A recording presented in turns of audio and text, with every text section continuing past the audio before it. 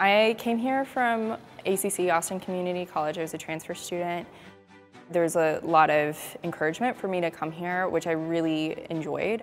I got to come to a university that really desired me and my background. As a student coming in from outside circumstances, I really needed a school that was flexible to fit my needs, and Southwestern was able to accommodate that.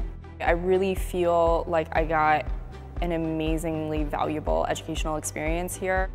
I actually was able to meet with my professors one-on-one. -on -one. I got to have the experience of doing independent studies. I think Southwestern really taught me how to ask questions, how to think critically and look at the world in different perspectives. And I, I really think it was because of my professors and people who were willing to guide me along in a very personal way.